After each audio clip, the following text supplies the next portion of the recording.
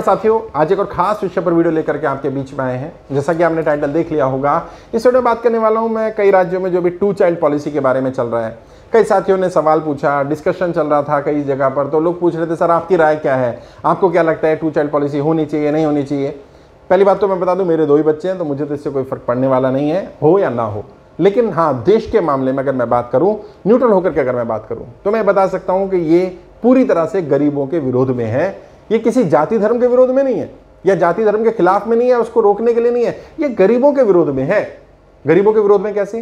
पहले तो आपने उन्हें शिक्षा नहीं दी, शिक्षित नहीं किया। शिक्षित नहीं किया तो उनके पास संसाधन उतने नहीं हो पाए, वो गरीब रहे। गरीब रहे तो उनके ज़्यादा बच्चे हुए, उनकी सोच ये रही कि ज़्यादा बच्चे होंगे, जितने ज़्यादा हाथ होंगे, उतना ज़्यादा कमाई होगी। और अब आपने उनको एक और कानून थोप दो कि क्योंकि आपके ज़्यादा बच्चे हैं, इसलिए आपको अब सरकारी सुविधाएँ नहीं मिलेंगी। इसलिए अब आप चुनाव नहीं लड़ पाएँगे, इसलिए अब आप वोट नहीं दे पाएँगे। कई जगह तो ये भी चर्चा चल रही है, उनसे वोट का अधिकार भी छीन लिया जाएगा। अरे भाई, आप जब तक 100 परसेंट शिक्षित ना कर दो समाज को, तब तक ऐसे कोई भी कानून गरीब विरोधी ही रहेंगे। ये सारी समस्या शिक्षा की है। जो लोग जितना ज़्यादा पढ़ लिख जाते हैं, वहाँ पर ऑटोमेटिकली आप देखिए बच्चे कम होते हैं। वो समझ जाते हैं। मेरे परिवार में ज़्यादातर लोग मतलब 90 परसेंट से ज़्यादा लोग ऐसे जिनके दो या दो से कम बच्चे हैं। कई मेरी टीम में दो साथी ऐसे जिनका एक ही बच्चा है और वो उसी में सेटिस्फाई भी है। अभी समस्या क्या है सारा प्रॉब्लम शिक्षा की है। और अगर आप देखेंगे, अधिक बच्चों का कारण क्या है? जैसे मैंने बताया, गरीबी एक कारण है। और कई लोग ये कह रहे हैं कि नहीं, मुसलमानों के ज़्यादा बच्चे होते हैं। तो अभी भारत सरकार का सर्वे सेंसस का सर्वे है 2011 की रिपोर्ट भी है 2015 की रिपोर्ट भी है, जो पारिवारिक सर्वे होता है। उसमें बताया गया है कि इसमें हिंदू और मुसलमानों में ज़्यादा फ़र्क नहीं है। और बल्कि जहाँ गरीब है, चाहे वो हिंदू या मुसलमान हो, वहाँ ज़्यादा बच्चे मिलेंगे। जो अमीर हैं, अमूमन वहाँ कम मिलेंगे। वहाँ पर दो बच्चे हैं या बहुत कम फैमिलियाँ जिनमें तीन बच्चे हैं। तो समस्या ये सिर्फ़ किसी जाति धर्म की नहीं है। और अगर आप रिकॉर्ड उठा करके देखो, जो लोग कानून बना रहे हैं योगी आदित्यनाथ जी से ही देखिए, वो अपने पिता की सातवीं संतान है। अब उनके पिता तो मुसलमान नहीं रहे होंगे ना ऑब्वियस सी बात है। या नरेंद्र मोदी जी, चार भाई थे, अब नरेंद्र मोदी जी के पिता तो मुसलमान नहीं रहे होंगे। पुराने ज़माने में क्या था, और जितने लोग भी वीडियो सुन रहे हैं, वो देखें उनके दादाजी कितने भाई थे। उनके पिताजी, जिनकी भी उम्र अभी पैंतीस चालीस साल है, वो देखें उनके पिताजी कितने भाई थे। जिनकी उम्र अभी बीस पच्चीस साल है, वो देखें उनके पिताजी कितने भाई थे। और अगली पीढ़ी को देखें, अपने आस पड़ोस में देखें जाति धर्म से नहीं है इसका संबंध इसका संबंध अशिक्षा से है। इसका संबंध है जितना हम पुरानी पीढ़ी में रहे या जितना हम रूढ़ीवादी सोच में रहे उतना ज़्यादा ये संसाधन पर या इन चीज़ों पर फोकस रहा कि हमारे बच्चे ज़्यादा होने चाहिए संसाधन की कमी है। या सोच इस तरह की रही कि ज़्यादा बच्चे होते हैं। आज भी समाज में कई जातियों में नाम नहीं लूँगा लेकिन कई अपर कास्ट में ये है कि लड़के ज़्यादा होने चाहिए वो तो लट होते हैं हमारे। वो तो आ, हमारा सम्मान का प्रतीक है मान का प्रतीक है। तो इसका जाति धर्म से ज़्यादा संबंध नहीं है, इसका गरीबी से संबंध है और ये गरीब विरोधी ही है। एक और चीज़, अगर अगर आप इसको और थोड़ा डिटेल में समझेंगे तो असम में कानून बना।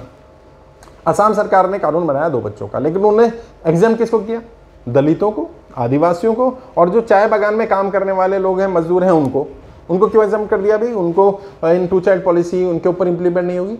क्योंकि ज़्यादातर दलित, ज़्यादातर पिछड़े, ज़्यादातर चाय बागान में काम करने वाले मजदूर गरीब फैमिली से हैं, गरीब परिवारों से हैं। तो उनके ज़्यादा बच्चे होंगे ही, क्योंकि ये बात उन्हें भी मालूम है। अगर हम cross the caste across the religion अगर पूरे देश को समझेंगे तो पता चलेगा, देश में ज़्यादातर लोग जो गरीब हैं, वो उनके यहाँ पर बच्चों की संख्या ज़्यादा मिलेगी आपको। लेकिन ये तो समस्या है। अब समाधान क्या है? क्योंकि आबादी भी बढ़ रही है, रोकना भी है। तो टू चाइल्ड पॉलिसी बनाने में कोई बुराई नहीं है, लेकिन इसमें एग्जाप्शन मिलनी चाहिए। किसको एग्जाप्शन मिले? गरीबों को एग्ज़ाम किया जाए, जो भी गरीब है। जो भी गरीबी रेखा से नीचे रहते हैं या जो भी बीपीएल कार्ड होल्डर है या कोई एक लिमिट तय कर दें, उस लिमिट तक के लोगों पर ये लागू नहीं होगा, टू चाइल्ड पॉलिसी लागू नहीं होगा। उसके ऊपर, खासकर से अमीरों पर, जो इनकम टैक्स पे ही हैं, उन पर कानून लगाया जाए कि उन्हें सरकार से सुविधाएँ नहीं मिलेंगी। अब समस्या है कि अमीर से क्या सुविधाएँ छीनेंगे?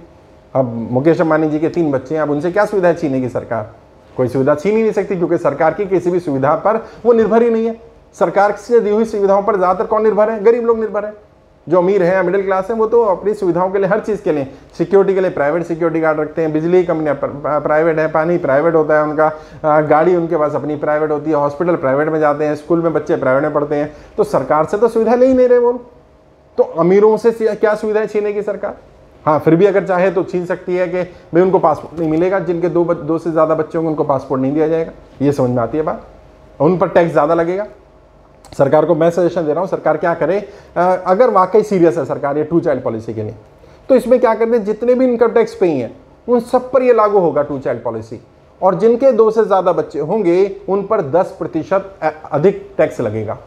और जिन, जो वन चाइल्ड पॉलिसी को फॉलो करेंगे, उन्हें 10 प्रतिशत का रिबेट मिलेगा टैक्स में। उनको टैक्स स्लैब जो है वो दस लाख तक फ्री हो जाएगा, या टैक्स में रिबेट मिलेगा, या कुछ रिवॉर्ड मिलेगा, कुछ सर्टिफिकेट मिलेगा, कुछ अवार्ड मिलेगा, कुछ सहायता राशि दी जाएगी, मदद दी जाएगी, कोई प्राइज होगा उनके लिए। कुछ भी सरकार ऐसा करे कि वन चाइल्ड पॉलिसी वालों को जो अमीर लोग हैं और वो वन चाइल्ड पॉलिसी अगर अडॉप्ट करते हैं तो उनको रिवॉर्ड मिले और जो टू चाइल्ड पॉलिसी को वायलेट करते हैं अमीर लोग, उन पर जुर्माना लगाया जाए। गरीबों पर ना हो, वो चाहे किसी भी जाति, किसी भी धर्म का हो। अगर अमीर किसी भी जाति, धर्म का है और वो टू चाइल्ड पॉलिसी को वायलेट कर रहा है तो उस पर सख्त कार्रवाई होनी चाहिए।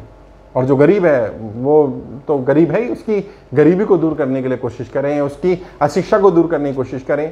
अब आप कानून बना रहे हो कि उनको सरकारी नौकरी में जो होंगे और दो, जिनके दो से ज़्यादा बच्चे होंगे उनसे उनको नौकरी से निकाला जा सकता है। और सोचिए व्यक्ति कैसे कैसे करके सरकारी नौकरी लेगा और उसके अगर दो से ज़्यादा बच्चे हो आप उसको निकाल देंगे। ये अन्याय है अत्याचार है। और ये हर गरीब के खिलाफ है कानून।